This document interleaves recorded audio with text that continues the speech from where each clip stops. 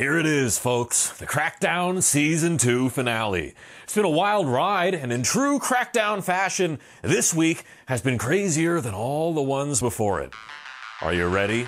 North Korea is back at it with weapons tests. Ebola is back, the Notre Dame Cathedral caught on fire, and a bunch of Instagram passwords leaked. And we're not talking about any of that stuff because this week the Mueller report dropped. It was way spicier than we expected. So we're giving you the big, huge summary that you need to get through the tough times ahead. Because trust us, people are going to be talking about this for a while. From WHIP News, I'm Tony Pearson, and this is your WHIP Weekly News Crackdown Season 2 finale. On Thursday, April 18th at roughly 11 a.m., the Department of Justice released the full length redacted Mueller report to the public. Since then, the country has been in a frenzy interpreting its findings, especially because Attorney General William Barr, who released his own summary of the report weeks ago, left out a lot of relevant information. We're going to summarize the biggest and broadest points of the report here, but it's really long and complex.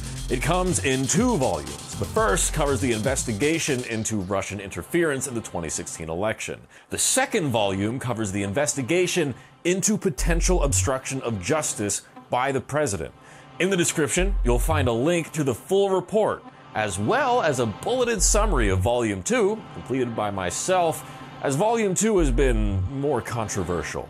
If you'd like to listen to that summary in full, you can do so on Friday's episode of Rational Radio, also linked in the description. So, first, let's discuss Volume 1 of the report on Russian election interference. Volume 1 establishes that the Russian government interfered in the 2016 election in a quote, sweeping and systematic fashion, citing evidence that began to surface in mid 2016. This effort occurred principally through two operations. First, a Russian entity named the Internet Research Agency, or IRA, carried out a social media campaign designed to provoke and amplify social and political discord in the United States. The group was based in St. Petersburg, Russia, and received funding from a Russian oligarch with ties to Russian President Vladimir Putin. The IRA referred to its use of social media and interest groups to destabilize the U.S. as, quote, information warfare. This campaign evolved from a general program targeting U.S. electoral systems in 2014 and 2015 into a campaign that actively promoted Trump and disparaged Clinton. The IRA faked identities, organized fake rallies, and at times made contact with the Trump campaign posing as grassroots organizers. The investigation ultimately did not find evidence that any U.S. persons conspired or coordinated with this group. Second, and simultaneously, a Russian intelligence service known as the Main Intelligence Directorate of the General Staff of the Russian Army, or GRU, began a concerted effort to hack the email accounts of volunteers and employees of the Clinton campaign. It stole hundreds of thousands of documents in this way before disseminating them through the fictitious online personas of DC Leaks and Guccifer 2.0. The GRU later released additional materials through the organization WikiLeaks. These later leaks were welcomed by then candidate Trump and his campaign. At one point, the president even announced that he hoped Russia would recover emails missing from a private server used by Clinton while she was Secretary of State. WikiLeaks began releasing the relevant emails on October 7, 2016, less than one hour after a U.S. media outlet released video considered damaging to candidate Trump. Throughout this period, Trump campaign officials made a series of contacts with individuals tied to the Russian government, including business connections and offers of assistance to the campaign. The investigation established that the Russian government perceived it would benefit from a Trump presidency and worked to secure that outcome. The investigation also established that the Trump campaign expected to benefit electorally from information stolen and released through these Russian efforts.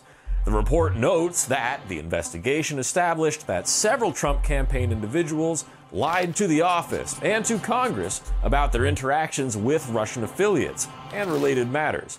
Some of the individuals under investigation also deleted relevant communications before they could be obtained. The report notes that these issues materially impaired the investigation and that it was unable to paint a full picture of what actually happened.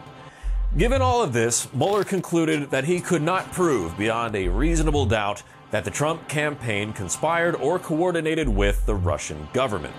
Mueller declined to bring charges against Trump or his campaign on those grounds. Volume 2 of the Mueller report is where things get especially interesting. Because here, unlike in Volume 1, Mueller did not make a traditional decision.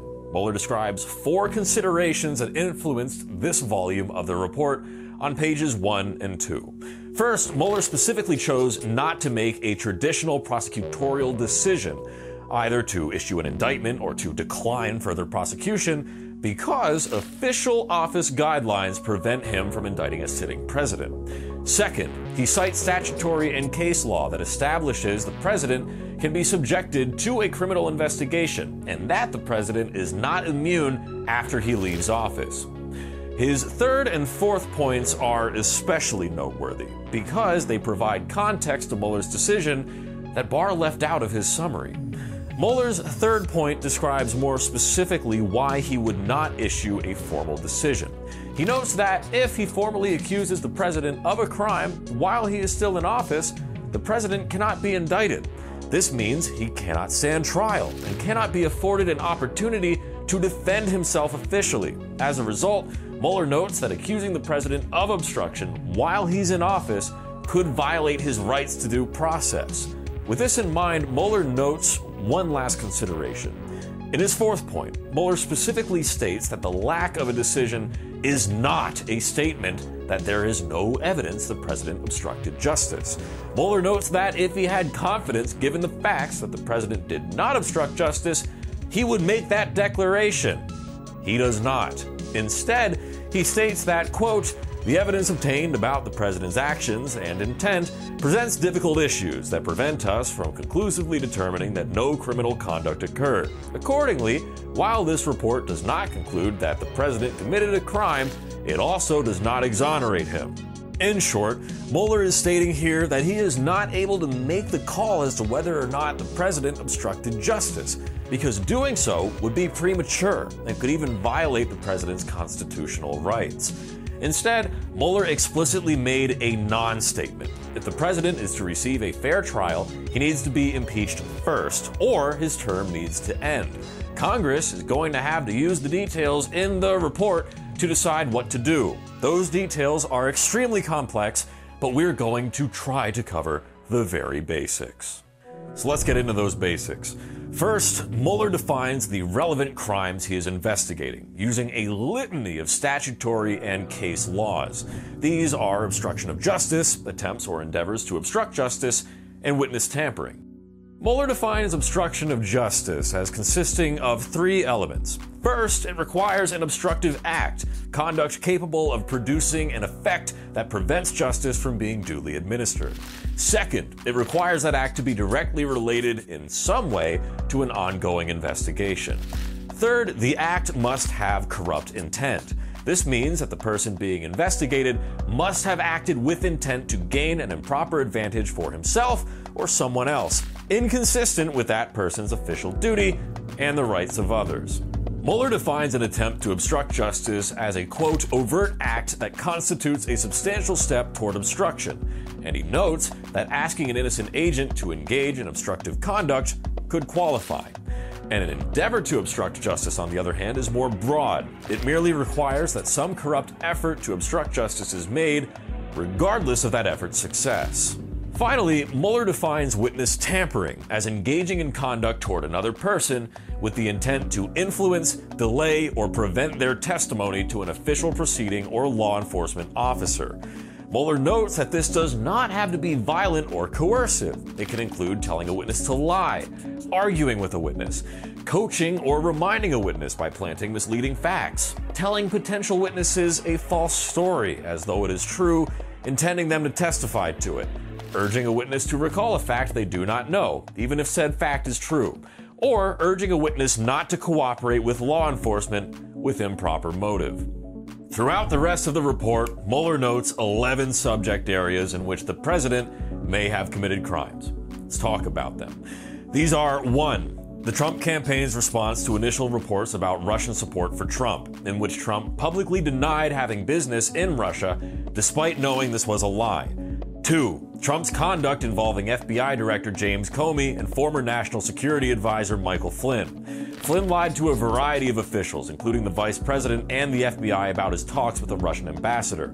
After Trump was made aware of this, he tried to divert FBI Director Comey away from investigating Flynn. 3. Trump's reaction to the continuing investigation, in which he tried to get former Attorney General Jeff Sessions to unrecuse himself on multiple occasions. He also pressured Comey to exonerate him, despite being advised not to by White House counsel Donald McGahn. 4. Trump then fired Comey, stating in the following days to Russian officials and a national TV audience that the Russia investigation influenced his decision to, quote, just do it. 5 the appointment of the special counsel and the president's efforts to remove him. After the special counsel was appointed, Trump directed White House counsel McGahn to order Sessions to fire the counsel. McGahn disobeyed this order. 6. Two days later, further efforts to curtail the special counsel's investigation, in which the president twice tried to get officials to focus the investigation on future elections, not his own. 7. His efforts to prevent public disclosure of evidence, in which he edited a press statement by his son to lie about the nature of a meeting at Trump Tower, then denied his involvement. 8. Further efforts to have Sessions retake control of the investigation, despite his past recusal. These were unsuccessful. 9. The president then attempted to make McGahn deny that he had been ordered by the president to have the special counsel removed. Recall point number 5. McGahn refused to back away from his recollection of the events. 10. The president's conduct toward Flynn, Paul Manafort, and another classified individual. The president made public and private attempts to contact and influence both of these named individuals while they were talking to investigators. Finally, 11. The president's conduct involving his personal lawyer, Michael Cohen. Cohen lied to Congress about the extent of his efforts to pursue the Trump Tower Moscow project at the direction of Trump's personal counsel to, quote, stay on message. As Cohen was investigated, the president originally supported him with public assertions that he would not flip, as well as private messages of support. When Cohen did flip, the president publicly criticized him, calling him a rat and notably suggesting that his family had committed crimes. All of these events have details relevant to the laws laid out by Mueller. The descriptions above are extremely short summaries. The bulk of Volume 2 of the report is focused on the details and evidence surrounding these events. Congress and the American public need to decide whether this evidence is sufficient to charge the president, because Mueller has explicitly stated he cannot legally do so. If so, the president cannot be charged until he is impeached, which is why Mueller declined to draw a firm conclusion.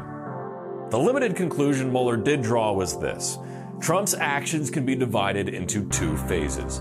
The first is the period before he fired Comey, during which he did not think he was the subject of the investigation. The second is the period after he fired Comey, at which point he became aware he was a target of the investigation. During the second phase, the president engaged in public attacks on the investigation, non public efforts to control it, and efforts in both public and private to encourage witnesses not to cooperate. Here, Mueller concluded that judgments about the nature of the president's motives during each phase should be informed by the totality of the evidence he has collected.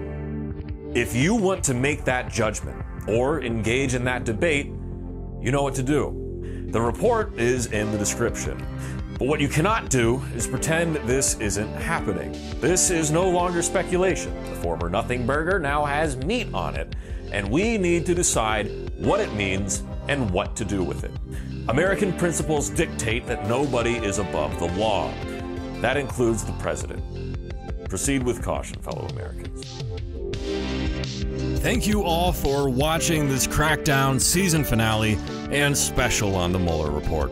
The report ended up being way more complex than we'd anticipated. A bunch of other stuff happened this week that unfortunately got pushed out. But this report is extremely important to American democracy, and we wanted to give you our best shot at summarizing its contents. From WHIP News, I'm Tony Pearson, signing off for the last time. I've got to go graduate. Like, subscribe, and share if you enjoyed this content, and please come back in the fall for more WHIP weekly news crackdowns.